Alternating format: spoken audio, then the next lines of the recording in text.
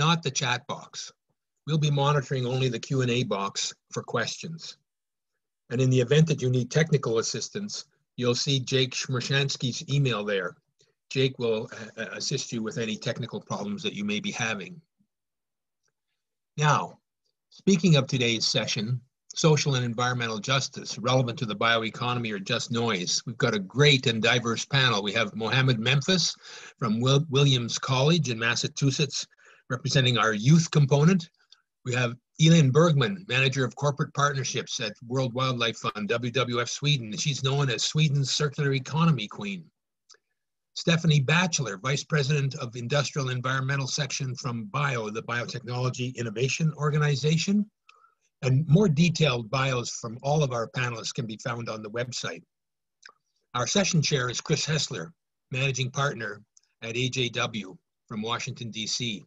And it gives me great pleasure to introduce my longtime colleague, Chris Hessler. Chris, over to you and your panel.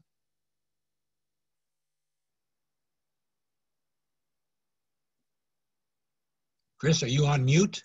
yeah, I'm just sorry, struggling to get back onto the uh, on the program here. Um, thanks, uh, thanks, Jeff, and uh, thanks for your kind words as always. Um, uh, just a, a, a, quick introduction on this conversation today. It's a little bit unique uh, in the in the context of this um, conference, uh, not not just the 2020 version, which is unique in, in its own ways, but uh, uh, unique to the history of this conference. But Jeff and I talked a bit at the beginning of the planning stages about this and um, decided that it was a pretty important topic, and the and the um, provocative title uh, sort of uh, indicates the the conversation Jeff and I were having because it's very easy for one to think about uh, progress toward a bioeconomy as being an unalloyed good, just something that absolutely will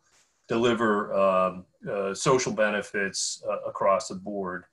Um, and, and to take that point of view uh, is to be blind to a couple of pretty important risks. The question uh, facing the, this conference every year is scaling up. The question of how do we scale up? What are the most effective things we need to do? And anticipating and engaging risks before they stop scale, the prevent the scaling up is really an important component of that.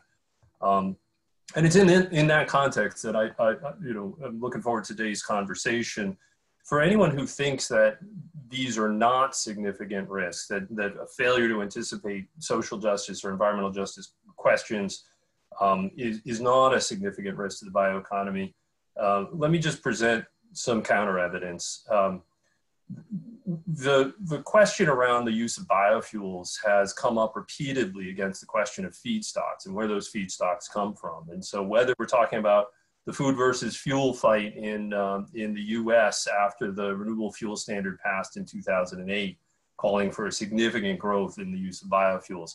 Uh, that was in essence a, a social justice uh, question. The, the, the questions around feedstock production for biodiesel globally as people think about what that means for palm oil and um, both the exploitation of labor and the exploitation of natural resources in, um, in countries where maybe the, the um, governance of, of resource management isn't as strong as it should be. Those are essentially things that can come forward and block the growth of the industry. Um, and it, it also comes up in, um, in more localized ways. In California, there's an enormous political fight that's broken out. Uh, California is the leading jurisdiction in the world in terms of promoting uh, the adoption of electric vehicles, but they're doing it by, um, by generally subsidizing the purchase of vehicles. Or that's certainly one of the more prominent tools they're doing, they're using. And that's come down as a, as a significant political question as to how how does it make sense for California tax dollars to go to um, buy uh, fancy electric vehicles, uh, Teslas and whatnot for rich people in Silicon Valley and, and not um, bring uh, folks in, in the less well-heeled parts of California along into the uh, energy transition. So uh, these issues aren't frivolous. They, they really can come up and stop progress if we're not thinking about it in terms of policy context, if we're not thinking about it in terms of long-term uh, business development. uh, context. So we have a fantastic panel here to talk about multiple dimensions of this. I'll ask the panelists to, to come on, uh, take off your, your, your mute and your, um, your video and join uh, the conversation. We're going to approach today's discussion largely as sort of an armchair uh, session. Um, and uh, Jeff's already introduced our panelists and pointed out their, their bios are available online, so we won't dally with that. Let's just start. Um, Mo, I've had the privilege of knowing you and working with you, and I think you you know you uh, carry the unfair burden of being a voice of a generation in this conversation today. But let's start with you, and let's start with the perspective um, from from a younger generation looking at the need to change the world, but to do it in in ways that make long term sense. Absolutely. So, hello everyone. My name is Mohammed, as was pointed out. I'm currently a senior at Williams College studying political science and environmental studies. Um, and I, I really hope for, I hope that this will, you know, provide a window into the ways in which environmental and social justice are, are poised to shape national policymaking throughout the world and the implications that it has for the bioeconomy. So the, the first thing I'd like to start with is this idea of moral responsibility. Um, and I, I think that this is the entire premise of bioeconomy. This is what it's based on. Um, this moral responsibility um, and also sort of this need to address uh, uh, anthropogenic contributions to climate change. Um, in 2019, there was actually a Pew study where around 70% of adults in the US uh, stated that the federal government is not doing enough to protect climate and the environment. Um, and in the last five years, these polls have been conducted uh, in Canada, France, Mexico, Ghana, the United Kingdom, and they've all solicited similar results. And so many, um, or in fact, most actions demanded uh, from the federal government by the public and advocates on climate change have not been taken. And I think that this actually provides an opportunity for environmental and social justice to become more central to what that policy um, or group of policies are going to look like moving forward. Um, one thing that I can tell you is that at colleges and universities, you see uh, environmental justice and climate justice clubs and student organizations, um, not just a climate society or environmental club. Uh, the social and environmental justice piece has become central to uh, the perspectives that the younger generation has on this issue. And I think that especially over the last six months, we've seen the ways in which uh, race and class affects people's daily experiences and interactions when walking out into the world. And frankly, younger generations have realized that in prioritizing climate change, uh, there's also a more responsibility to dedicate time and effort to ensure that our climate and environmental actions are also more just. So there's a, a professor by the name of Dr. Robert Bullard who's sort of, you know, labeled as being the, the, godfather of environmental justice. And he describes this idea of environmental justice as embracing the principles that all communities and all people have the right to equal protection of environmental laws um, and that it's the equal access to the good things that make communities healthy, um, but that also makes sure that no community is, is overburdened. Um, and what was fascinating about this year particularly is that I, I sat and listened to multiple hearings in Congress uh, just, this, just this year where members from both sides of the aisle repeatedly brought up this phrase of environmental justice or climate justice. Um, and you heard it mentioned in presidential debates and forums, and five years ago, that was not the case um, this intersection of racial and environmental justice and climate change uh, will be the issue of the of the future, and I, am certain that uh, my generation will not let up on on prioritizing its its importance. Um, but that also means that a sector like the bioeconomy is is going to be under a microscope. Um, it will be under a microscope to see the implications that bioenergy, biomaterials, uh, biofuels have for social and environmental justice. Um, one very large global issue is the implication that these policies have for access to land and agriculture. Um, you know, if a policy, for instance, that promotes biofuel makes it more difficult for a community to access land that they deem necessary to farm and sustain themselves, um, then that's an action that would exacerbate inequalities and, and it would socially harm disadvantaged people. And I say to this that, you know, perhaps the most important realization um, to overcome in this type of scenarios to recognize that communities should not be pitied um, and, and that we, we shouldn't think of them as being sort of helpless and just vulnerable. um, but rather these groups could actually play a, a really important role in the decision-making processes uh, to make sure that, that such policies and, and outcomes don't happen to begin with um, and don't pose negative externalities. And this is, a, this is an issue that exists all across the world. As you know, Chris has sort of brought up an example of the United States um, and in other developed countries, but also in non-OECD um, countries. And I would encourage you all to think about the ways in which your perspective would be different of the bioeconomy if it was honestly framed in this idea of environmental justice, in this idea of human rights. Um, and luckily for you all, that, that, that could be a good thing for your bottom lines. Um, Chris brought up this idea of EVs in, in California, um, and, and then, you know, almost just being credits for the rich. Uh, and there have actually been public officials in that state that have expressively, you know, brought up this idea and um, articulated why this is an issue. It's because people really just can't afford electric vehicles. Um, and so what ends up happening is that, well, you know, dollars are being transferred up the wealth ladder. Uh, and the opportunity from this is that the obvious solution is to not pick EVs um, as the as the winner, which means that biofuels uh, going into conventional vehicles uh, that people have or can afford to buy um, right now becomes the less expensive option. And so instead of the status quo, which is um, an EV or conventional petroleum fuel vehicle, uh, you have biofuels, which has the opportunity to expand, you know, consumer choices. And um, more than anything, it allows for low and middle income people to be able to decrease their carbon intensity without really having to do anything. Um, but it also doesn't stop there. A lot of my work has looked at how transportation has affected the health of low income communities and, and non white neighborhoods in the United States.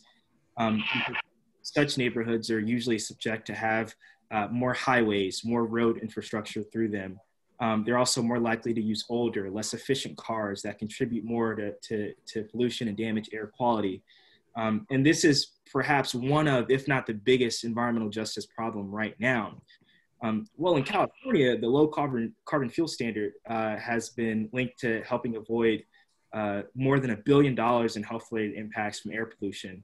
Um, and additionally, that's estimated to grow up to 8 million by 2025. Uh, and, and its suite of clean transportation programs um, have avoided uh, over 100,000 cases of, of different health related issues. Um, and those numbers will continue to grow. So I think that being more thoughtful about the impacts of, of bioeconomy um, can really advance social and environmental justice while also making these sectors more attractive to the public, especially as we go forward, um, and to policymakers. And overall, it has the opportunity to grow the bioeconomy market um, and to sort of get at those difficult questions uh, that can stall change uh, before we get to sort of the, the end point or the midpoint um, of, of policy making. And though, oh, thanks. Oh, I'm sorry. Yeah, the last thing that I was going to say is that you know, even though the example that I gave was for transportation, you know, this is this is true for agriculture and food, electricity, chemicals, and so on. Um, it's an overlooked nexus where the social goals of the public and the economic goals from the private sector can really overlap. Um, and so I urge you all to, to take it seriously and thoughtfully and to take advantage of this opportunity while also respecting that, that moral responsibility to promote social and environmental justice. That was great. Thanks, Mo. And, and, that intersections point, I think, is where we'll spend a lot of time in our conversation. Um, over to Elin. So we've got the, the um, sort of view that this is a gathering, uh, strengthening trends uh, from Mo. You sit right now in the intersection of the conversation between the environmental community and corporate actors who are trying to figure this stuff out. What's your perspective on the question? First of all, thank you so much for inviting me to this fantastic event. Uh, I think this is a very good conversation to have. So um, yeah, my name is Elin Bergman. I, I, am the circular economy queen of Sweden, or I call that a lot. I'm also a circular economy expert at WWF, and I'm also running two different networks. One is the Swedish network CradleNet, which is one of the oldest circular economy networks in, in the world, I would say. It's 10 years old. And also Nordic Circular Hotspot, and uh, we would say that the, the bioeconomy is a big part of the circular economy. It's all about how can we make the resources that are finite that we're using right now, how can we shift from those into to ones uh, resources that are actually sustainable and that we can um, use over and over. And this is where the bioeconomy comes in. And uh, I'm, I'm, i mean, um, it's all about at WWF. I mean, we, our vision is that we need to have a future where people live in harmony with nature. And in the linear current economy, the fossil-based economy that we have, we're living in total disharmony. And, uh, and like Mohammed said in your fantastic speech before, uh, I mean, we have the greatest advocate for environmental justice in the world, Greta Thunberg, who's out speaking about this a lot. And she, the only thing she's saying over and over is like, don't listen to me, don't have me as a role model, listen to the science. And she's trying to really get the other people uh, that will be more affected than we will in Sweden. We are a rich country, socialist, and very equal in many ways, but we still have a lot of things to do uh, left. But but she's advocating a lot that environmental justice is key, and we have a linear, very broken system right now. Let's shift into a, a good, thriving bioeconomy where we have justice for all and and you know good prosperity, not just uh, growth, uh, and that just is bad for the planet. Thanks, Elin. So let's bring Stephanie in now. Uh, Stephanie, you're you're part of the organization that represents the companies that are bringing uh, biosolutions to to pharma, to industry, to agriculture, um, and uh, there's an increasing focus in your organization on the issues related to justice. So. Um, can you talk a bit about that and, and, and uh, the perspective, both from the association and from the membership on these topics?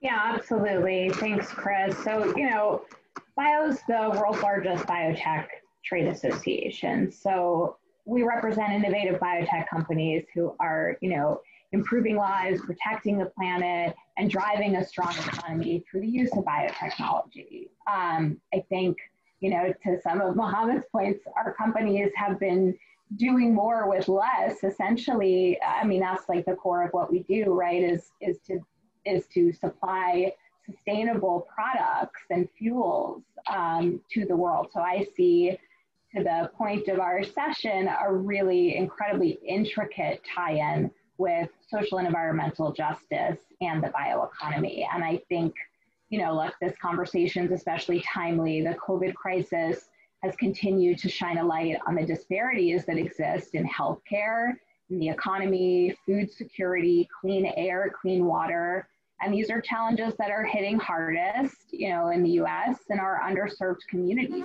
So in August, BIO announced our bioequality agenda, which is to challenge our industry to counteract this systemic inequality, the injustice that, that Mo referenced, the unfair treatment of underserved communities for now and in the future. And so as part of one of the initiative's core goals to promote health equity, BIO also wishes to foster enhanced nutritional, environmental, and mental wellness opportunities for our economically disadvantaged communities. And we think biotechnology just has incredible potential to unlock solutions for all of these communities. And that's that's from the feedstock, that's from what we're putting into our soil to decrease land use, um, to mitigate that.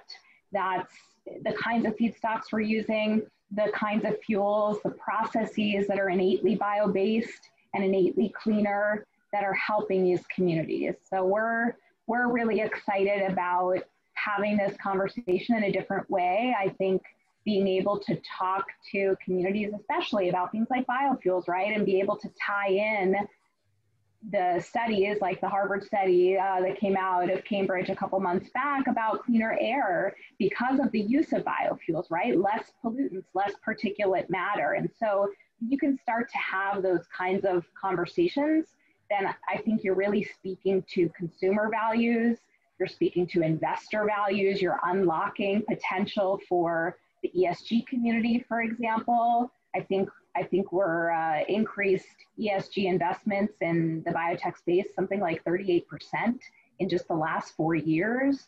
So I think there's there's a real nexus here to Mo's point, and and there's a real um, there's real traction, and I don't think that that's going away anytime soon. So I'm just really excited about where we're headed.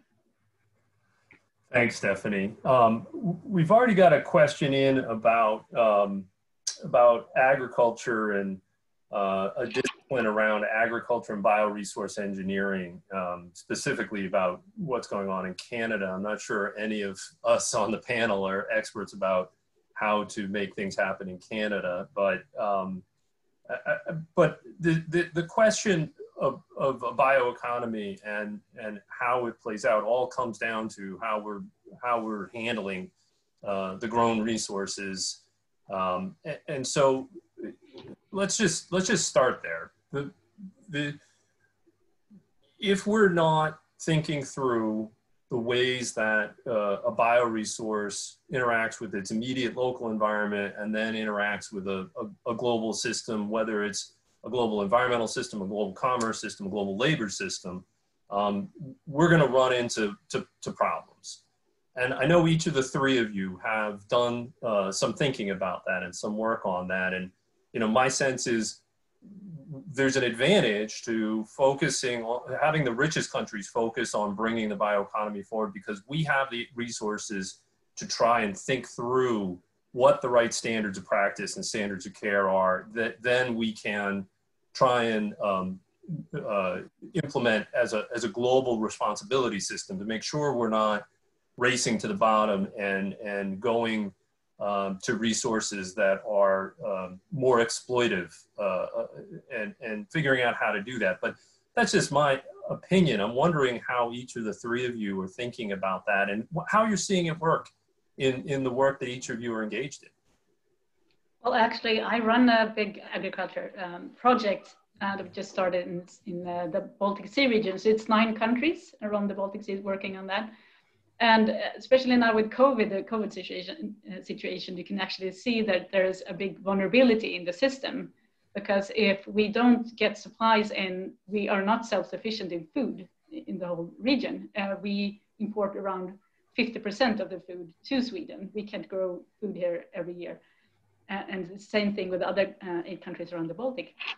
And the problem for us uh, working with this um, uh, initiative at WWF is we wanted to see like, okay, how, how is the, uh, the system working right now? And how it is is that we are mining uh, mineral fossil um, nutrients in mines from Morocco and other places that are politically unstable. And then we're taking the minerals into Sweden and the other eight countries, and um, we're uh, we have high productive agriculture. Um, but then there's a lot of runoff into the Baltic Sea. So we're kind of poisoning, we're over fertilizing um, the Baltic Sea. So we have really poisonous algae blooms every year.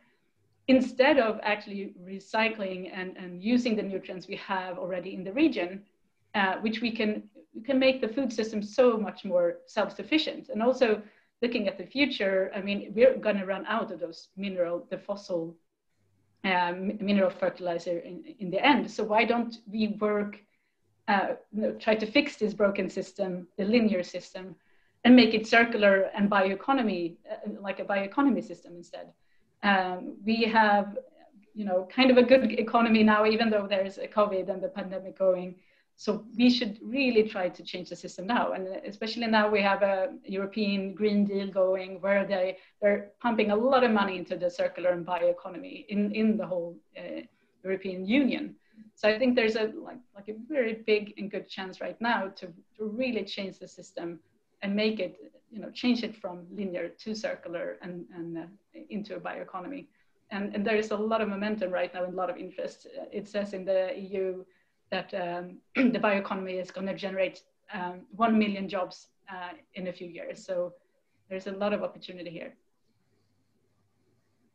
Yeah, I think, I mean, I'll hop on, on Elin's point, you know, there's, there's a lot of potential for the bioeconomy in agriculture, especially when you're talking about nitrogen runoff, uh, algae blooms. You know, we're, we're using algae to sequester carbon um, and, and carbon systems, but we're also using gene edited microbes in the soil that can help route more nutrients to plants. And so that reduces the need for fertilizer. It, min- it minimizes nitrogen runoff. So I just, I think we need to be, you know, sort of lockstep with all of those kinds of developments. And I think focusing on agriculture is just so important. I mean, agriculture can contribute. It doesn't, it's doesn't not the problem. it can actually help to become part of the solution for your food. You know, it's yes, it's great to reduce emissions in the atmosphere, and that's huge. And policies that I think we'll get into later, like the Growing Climate Solutions Act, can really be beneficial to help drive sequestration in soil. But you know, agriculture is is what's helping drive our food supply, which is so necessary. So so being able to tie all those elements together through the bioeconomy, I think is critical. And, and like driving, yeah. No, I just was going to say driving to climate smart practices is where we need to get to sustainable exactly. agricultural practices. So whether that's through you know certifications or continuous improvements, we have to we have to drive farmers to that end goal.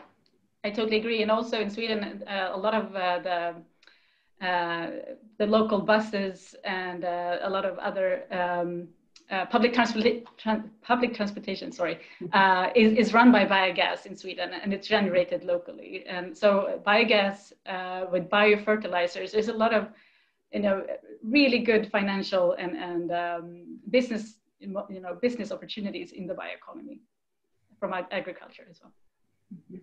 And I, and I think, you know, the, um, the first thing that came to mind when I when I heard sort of about the algae blooms is uh, really you know the fact that work is already being done to figure out you know more ways in which algae can be used um, as a, as a biofuel, and I think um, it's really sort of pointing to examples of of you know that circular economy of all of all of these potential externalities of uh, new and exciting innovations in in ways to make use uh, um, of feedstocks to figure out uh, you know, if there's a problem that we face, um, how is a way that we can exploit that problem to promote something good from it? And I don't think enough thinking has gone into that uh, because the status quo in the past has very much been, um, you know, you can make an action uh, in one country and it could cause harm in, in, in some community in another country, uh, but there's a significant level of disconnect um, that really doesn't warrant for anyone to address that.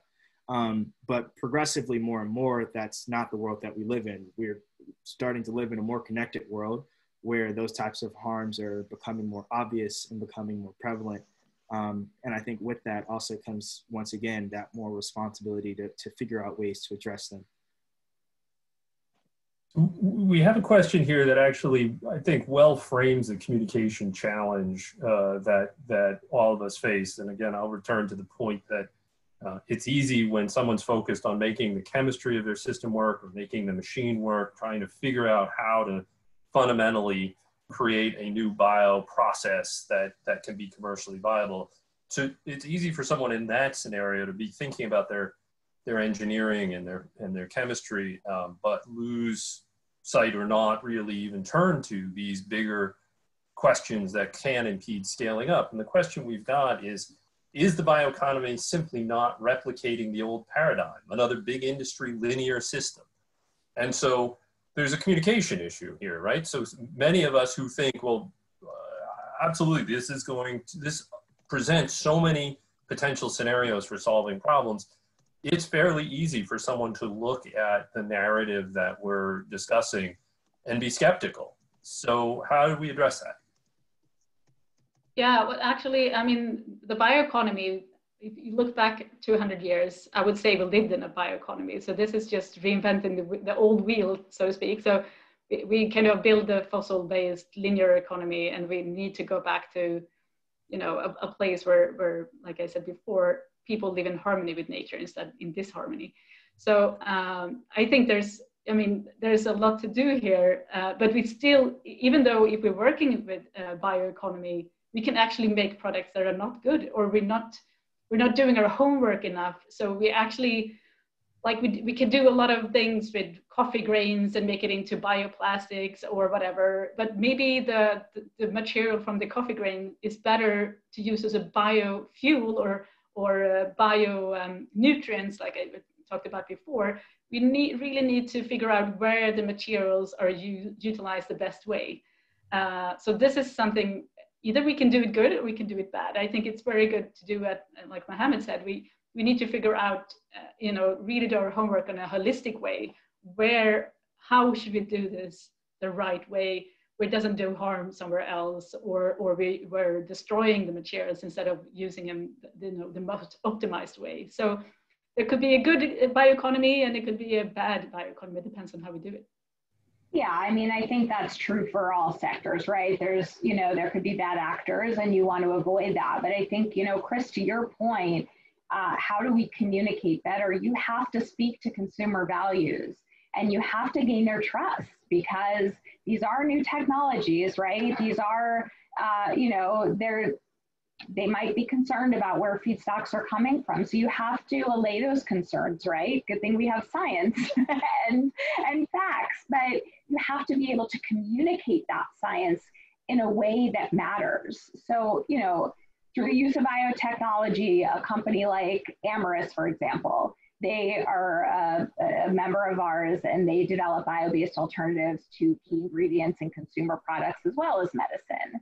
So through the use of their bio-based um, squalene, which is made from plants, they save up to 500,000 sharks from being killed because that's typically where uh, squalene comes from in the use for vaccine adjuvants for something like COVID-19, right? So I think you have to be able to to share those kinds of examples and allay consumers' fears when they have questions about feedstocks, you can talk to them about it. We have an abundance of feedstocks.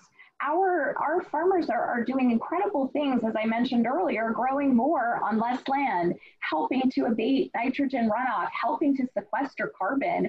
We have to be able to, to talk about that in a way that matters to, to, to regular consumers, to investors. And, and I do think that we need to have additional friends at the table to help to tell those stories. Stephanie, let's let's build on that and try and get a little more specific. Uh, uh, questions come in about the the global supply chain and and you know feedstocks that potentially come from um, uh, countries that aren't protecting indigenous rights um, or uh, you know again you know sort of the palm oil example aren't protecting globally essential natural resources um, and and the communities that that wind up devastated because of the after effects of that kind of exploitation. Um, how do we uh, how do we take steps that that justify the kind of uh, communication and confidence um, in this type of a building system? There are obviously very real risks, and if we're cavalier, no one will believe us, and we won't get it right. So how do we implement this? What do we need to do? Right. So studies, reports, data, smart policy. the end.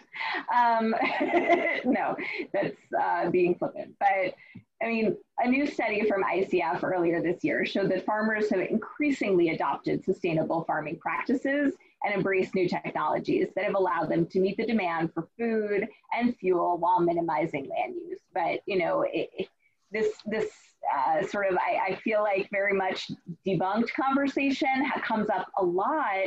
And I always, uh, my response to it, it, again, yes, there can always be a bad actor. But when you're talking about scaling up and where your feedstocks are coming from, you know, we're talking to, to folks in Canada, we're in the US. To me, I'm thinking, okay, well, we have we have smart policy that's going to uh, show us that. You know, I mean, a, a low carbon fuel standard, for example, is is based on carbon intensity, and they're they're going to know where that feedstock came from and whether or not it is sustainable and renewable.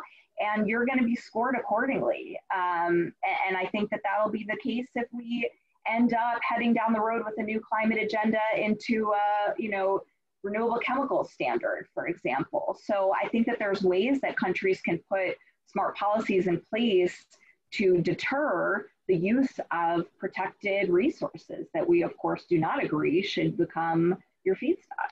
So high levels of accountability backed by fundamental science that shows what what and how we should be using, you know, what feedstocks and, and how we should be preparing them. That's what you're saying.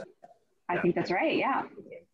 Elin? we actually did a yeah we did a, a, this big report for the Baltic Sea region, all the nine countries, uh, to just look at where are the sources coming from, both when it came to uh, you know to to where, where did the sources come from that run off into the Baltic Sea, and one of the things were just feed going to to pigs, cows, and chickens and so on? Where is it coming from? And we are also importing that. So that's also actually nutrients that's running up into the Baltic Sea. So we need to, if we can change and, and feed the, the cows uh, and, and, or maybe the pigs at least, uh, the food waste instead. We don't have to import it from, you know, soy uh, grown in, in Brazil in the rainforest, for instance.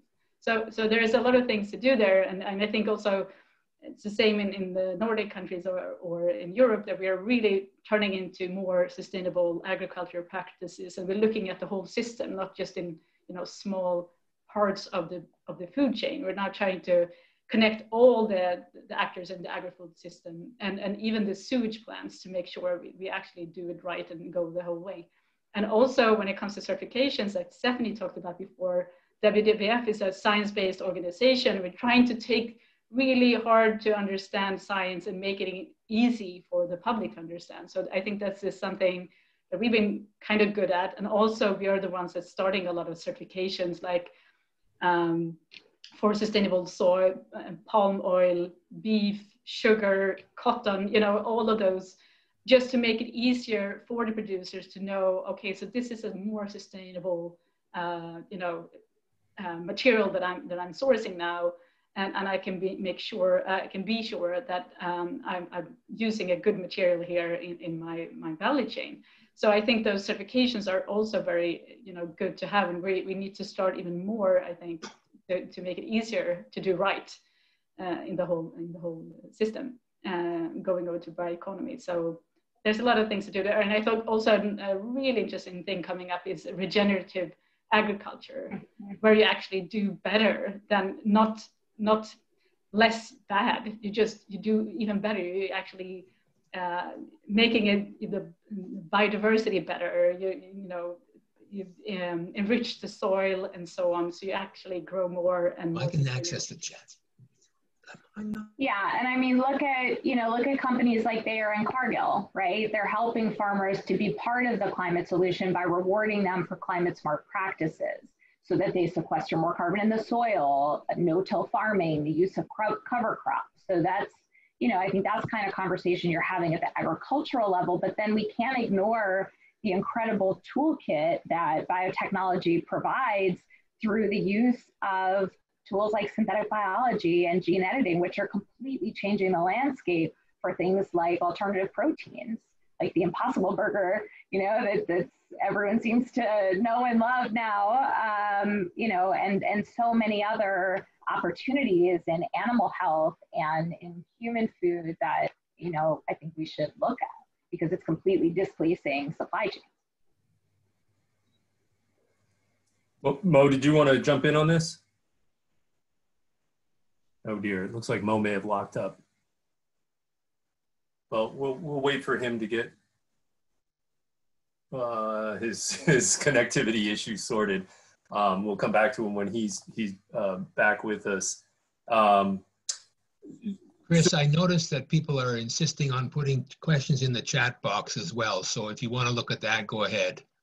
Yeah, okay, that's fine. I will. Um, uh, and and Mo has dropped off entirely, so hopefully he'll rejoin us here shortly. This is the uh, you know the, the modern challenge of of conference speaking, but. Um, uh, be that as it may, a, a, a, couple of interrelated questions here have come up around um, uh, rare earth metals, uh, you know, as part of the EV uh, uh, mix. And I think looking at that from a, a, an exploitation point of view is one of the ways it's easy to argue that a bioeconomy is a, is a net positive because it's a renewable resource. And if we get it right along the lines of what you guys are describing, then um, we've we've addressed that, but I think it's easy for people to just try and create these competitions between um, different solutions. And um, as I said at the top, new solutions aren't going to be held to the old standard. It's not good enough just to be better than oil to in, order to be part of the future.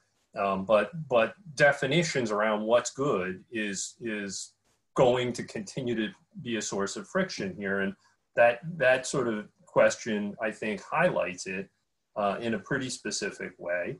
So let me let me pose a very real scenario to the two of you and have you discuss: is this good or is this not good? So uh, in East, uh, in, a, in, a, neighborhood, a crowded neighborhood in East LA, not a high income neighborhood, uh, Los Angeles, um, there is an old uh, refinery that used to make asphalt, one of the dirtiest kinds of uh, refining of, of, products out there.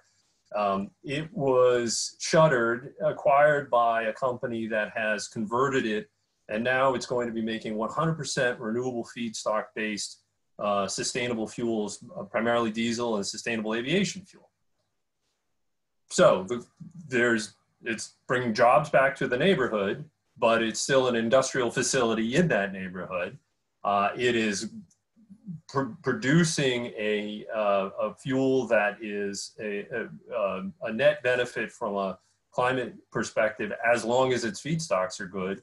Um, but how do we know its feedstocks are good? And um, it's still a combustion fuel. So people can come at that very same scenario and say, this is our salvation and the road of the future. And other people can come at it with a healthy amount of skepticism. So as that is a very real scenario, I'd be interested in having you guys discuss it in, in the perspective of how, how should investors think about that? What should companies think who want to get into this space knowing that those pragmatic questions are going to come up again and again. You want to answer, Stephanie, or should I? You can start. Well, we, um, we just had this really interesting uh, example in Sweden. There was this big um, oil company, Preem. We're going to uh, make this enormous oil uh, refinery. And um, they were going to pump in billions uh, both from the state, but also yeah, from um, all investors. So it's going to generate a lot of jobs to this super small society Lysekil in Sweden, west coast. Um, and of course, Greenpeace came, all the other you know protesters came because it's going to not only uh, we're Sweden going to miss the whole Paris Agreement target, we're going to uh, be one of the biggest uh, polluters uh, in in Europe. Uh, but they were saying but if we do it here, uh, it's going to be so much more carbon effective than if we do it somewhere else. We're going to save a lot of carbon. So that was the, the thing that we are saying for a long while until last week when they actually said, hey, there's, there's actually no long-term good um, investment in this. Uh, it's going to be stranded asset, especially now when, it, when uh, the pandemic is going. There's no need for diesel, uh, even though it, it might be more carbon efficient. So we're going to turn it into a hydrogen plant instead. And that was global news. And Greta Thunberg was out like, yay, and the whole, whole environmental business. So, I mean, there are sustainable jobs to create here. And if we're going into, even though it's better and less carbon uh, in, in that production, it's still less bad. So we can't do less bad anymore. Uh, and it's also, if, if, you talk about fuel coming out from the, the bioeconomy, I mean, in Sweden right now, uh, the forestry sector is saying, hey, we have more forests than we had the last 200 years because we're not a wood-based economy anymore. Uh, but they basically want to chop down every single tree to make biofuels and bioplastics and textiles and, and you know, the, the forest is the new gold, they say. But the, the reality of it is, if you're going to make biofuels out of it, it's still going to emit carbon. And, and then you have to wait maybe 80 years until the forest grows up again so they, they can actually you know, draw the carbon back. So then you, then you will have a, a, a net zero um, emission from, from that fuel. And right now we can't, we can't you know, have any more, uh, we can't emit any more carbon into the atmosphere. Right now, we can probably in 100 years, but right now we can't. So we may have to make sure that whatever we put out in carbon, even though it's bio-based, it's, it's going to be, you know, taking down, you know, very fast. We can't wait 80 years for it because it's going to be, it's still going to be bad. Welcome back, Mo. It looks like the Williams uh, University Library's got a Wi-Fi connection. it's challenging you, but uh, we're glad you've rejoined. Um, let, let me go. Uh, there's been so many uh, great questions and interactions on both the Q&A and the chat box, despite your admonitions, Jeff. Um, let me just kind of try and bundle a couple of these for, for discussion here as we're, we're closing in on the end. Um, uh, there's a number of issues related to self-sufficiency and, and the fact that self-sufficiency um, speaks to uh, sort of uh, production at a smaller, at a sort of more decentralized scale um, versus the idea of scaling up being more of a, a central centralization uh, tendency. Um, so how do we think about that? And I think that also relates to um, where we want to pivot to the end, which is how does the government start taking productive, how do companies start taking production act, productive action? Um, the, the, you know, there's, there's some questions here about what's the best um, step forward for uh, for uh, the, the bioeconomy for the government to take in, in, Canada? What are the feedstocks? What are the products? How do we get the market barriers out of the way? Um, so there's a lot there to wrestle with. But let, uh, why don't I um, why don't I pivot because we are coming up to the end. It's going to come fast to to sort of using that as a preamble for this thinking about the, the path forward, the scaling up path forward from the perspective of companies, from the perspective of investors, from the perspective of governments, and from the perspective of individuals who are trying to make ethical decisions in these spaces. Um, how do we make sure at the individual level, this is not virtue uh, signaling uh, like buying a Tesla. This is actually engaging in productive change uh, along the lines of what Mo was talking about at the very beginning of the, of the panel. Um, what are the things that companies should be doing to make sure that this, the scale up balances all of these complicated inputs in, in, when it comes to social and environmental justice? How can government facilitate that? So you don't have to address all of those things. That's, you know, thesis level material, but, but pick some recommended actions for any of those uh, categories. Uh, Mo, since you've been uh, AWOL here for a little bit, why don't you, if you want to jump in and, and start off, we'd love to hear you come at that first. Yeah, so so I think it, it goes back to the, the questions that you're asking um, when you're, you know, sitting down and, and trying to figure out the next steps, you know, what you're going to do in terms of policy making for your country and um, for your company, excuse me, and really asking what are the implications from the suite of decision making that that that we have available to us? What are those implications going to be for um, different people uh, depending on whatever your output and wherever your output is going to go i think when you ask those questions you're going to be surprised at what you may find um, but you also are situating yourself in a position to address those harms before they can even occur um, i think on top of that for, for the perspective of almost sort of selling this to the individual is really making it clear the distinctions um, between sort of bioenergy and um, you know just your fossil fuels.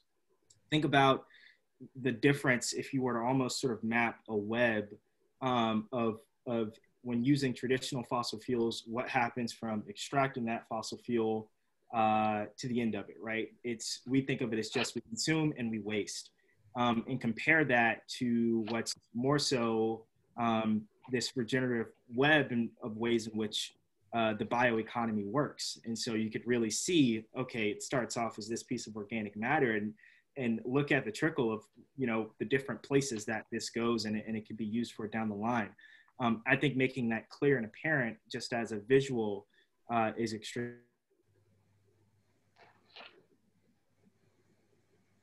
on asking those questions to ensure that um, you're really centering your decision making uh, to, to, to expose all of the different externalities that can come from your actions.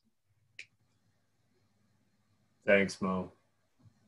Stephanie, you want to take a crack at some specific recommendations for any of those categories?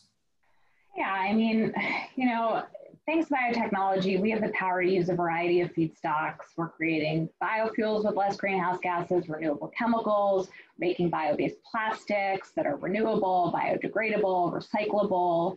This is all reducing pollution, reducing waste, and helping to make our air cleaner. And you have companies like Ajivo or LanzaTech that are demonstrating the ability to turn hydrocarbons and waste gases into clean burning fuels too. But if you want breakthroughs in feedstock development, then you need policies that are going to promote sustainable fuels that are technology and feedstock neutral to help bring them along so that you're not seeing a situation whereby there's a dictate, for example, for all electrification. There should be an, you know, all uh, all of the above approach because we're going to need everything to get to the scale we need to. So, um, you know, we've been pushing at the state regional level for a long time now at the at the national level for a low carbon fuel standard. I do think uh, this conversation is a little fuel heavy, but I don't want to ignore the massive implications to the manufacturing sectors um, to decarbonizing manufacturing, we must modernize infrastructure so that biorefineries and foundries and mini mills, as, as some companies have, can indeed pop up all over the country in our underserved communities, in, in disadvantaged areas, in urban populations where, where we can use synthetic biology to grow food in an old factory building, um, or, or where we can change in Ohio or in Michigan, uh, defunct uh, former pharmaceutical factories and, and facilities, and we can turn them into biorefineries. But there's a cost to that, and there has to be supportive, stable policy in order to help realize those goals.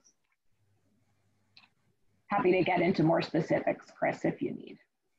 Well, let's let's bring Elin in one more time, and um, and then let's see what how we're doing on time. Well, I mean, you said a lot already, Stephanie and, and Mohammed, so I'm just going to add to it. But I think if you take Sweden as an example, we already actually surpassed our goal for biogas. Uh, we had a 10% goal uh, for, for uh, biofuels, but we're actually doubled it. So we are at 20% right now. Uh, so that's that's I mean we we have we have a nation a nation that actually has a, in like the toughest uh, climate targets on the planet. So we're going to be climate neutral by 2045 and we have a carbon law and we're doing everything we can but still there is a big i mean when it comes to bioeconomy there's especially as companies we have h&m and ikea for instance they're going to be 100% circular both of them. They're super ambitious but they're struggling right now because they, they're really asking for there, there's like a bigger demand whereas actually there is a supply right now. So i think there's a lot of opportunity here but the, the government and, and the policy side is actually um, hindering them to, to go as fast as they want to uh, because there's no market for secondary uh, bio-based materials. We, so we need to create a market and also that's where the government comes in. They can actually subsidize um, the biomaterials or, or the uh, secondary materials much more because now it's it's it's cheaper to buy virgin materials. So we need to create a market, and we, I think we could do that together. And also we need to you know t- tell the politicians, hey, we want to you know quit the bad ways that we're doing business in. We want to really make sure we have a sustainable uh, business model, and you're you you have to get out of the way. You have to help us. Uh, so if there's a problem, you have to really uh, talk to the politicians and say this is um, the problems we are having the obstacles. Can you can you help us you know to remove them? And i think that that's uh, the similar um, there's yeah there's so many boundaries that need to be removed in the political side both in, in europe and also i think over your uh, where you are.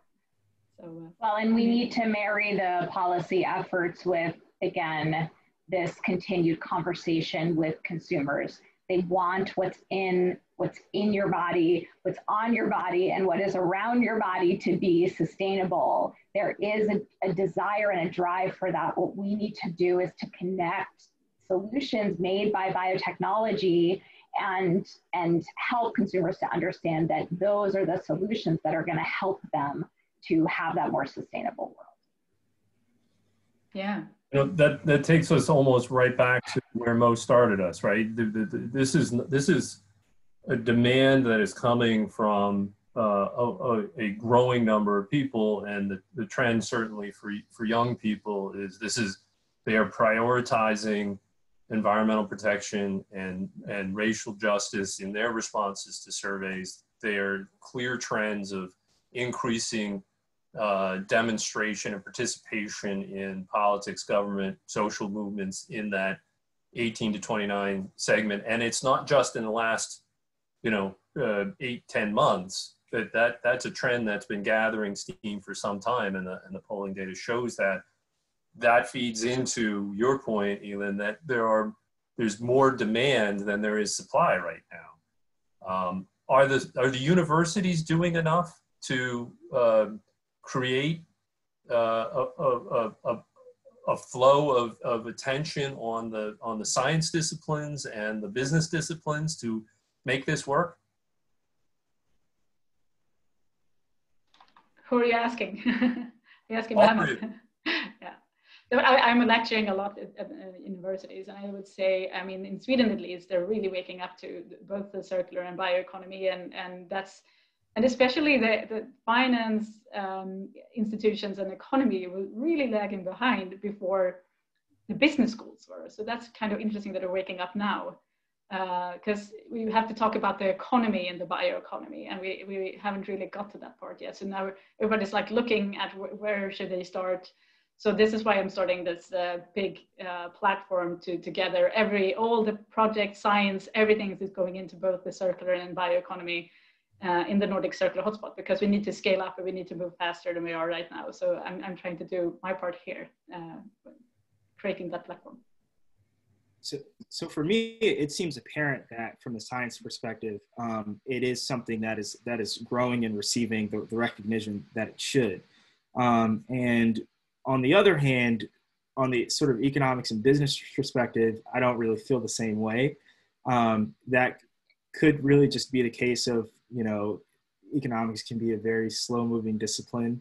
Um, and bringing in certain ideas of, you know, for instance, we talked about like the regenerative economy and so on, um, really sort of push against a lot of the just, you know, schools of thoughts that are that are really used and taught in your economics classrooms and a lot of business classrooms. But um, it will be very easy to go look at really any university, especially a tier one research university, um, and find that there are uh, groups of students and professors who are working and researching and learning about these issues. Um, and to them, it's, it's very clear that uh, there's going to be an incredible amount of, of demand for this moving forward. So government uh, funding for research in the integrated disciplines we're talking about might really uh, generate a, a, better base of support for all of this conversation. Um, last uh, lightning round question, 30 seconds each. Uh, we've talked a lot about the concerns and the challenges.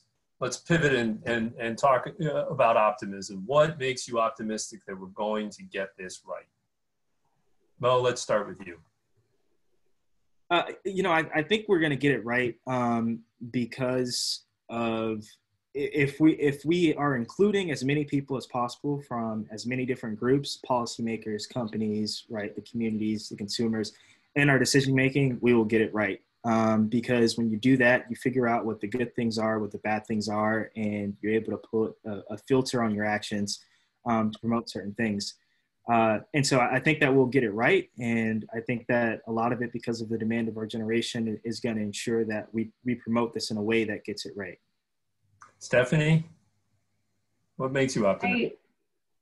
I mean, the entire uh, bioeconomy universe makes me optimistic. Um, and I think that that's just because I see firsthand working with these companies the incredible, amazing innovations that they are creating, the ability that synthetic biology has to just, and that's one, you know, platform technology to just disrupt so many pieces of our economy is is just monumental. And we've seen it. We've seen it through this, you know, horrible pandemic, right? We've seen how quickly science also, I mean, we haven't talked about, you know, regulatory issues for technologies, but we've seen what can happen when technology that is ready is actually uh, easily deployed and barriers are taken away. So I'm hugely optimistic the technologies are there, the feedstocks are there. This is the right time for the bioeconomy, and I just see some really good momentum moving forward. Elin, final, final uh, 30 seconds before Jeff cuts us off. Yeah, uh, well, I think everybody wants a future where people live in harmony with nature. And I think, I mean, social and environmental justice is just it's it's the hygiene factor. Uh, we can't have the economy, global economy like we have today. So there's no alternative. So that's kind of makes me happy. There, I mean, there's nowhere else to go. Let's go forward and let's do it, you know, in a bio-circular economy. Thanks to all three of you. Great conversation. I was privileged to be able to listen to it. Thank you. Thanks, everybody. Thank you. Well, thank you, everyone. I mean, uh, sadly, the hour went by too fast, and uh, what a great conversation. Uh, Chris, I wasn't on the panel, but if you'd asked me what I thought government should do, uh, tax the stuff you don't want and provide tax incentives to the stuff you do want. Um, but uh, what a wonderful panel, and thank you, Chris, for leading uh, the discussion uh, and managing these great questions. If any of you want to connect with me, uh, I think you can see uh, my email address there and I can, uh, um, I'm talking now to the registered participants. If you want to connect with any of the panelists, then I can provide an introduction. Thanks to our platinum sponsor EcoStrat and a really big thank uh, you uh, to AJW for being today's session host. Thanks to our audience, thanks to our technical team of Jake and Eva. And please note that next week's webinar is the Bioeconomy Development Zones, driving bio-based investments in Canada. And we're looking to have the first Bioeconomy Development Zone be in Saskatchewan. So that's next Tuesday, October 13th, and that is hosted by EcoStrat. So it's Jeff Passmore signing off. See you next week. Bye for now. Bye bye. Bye.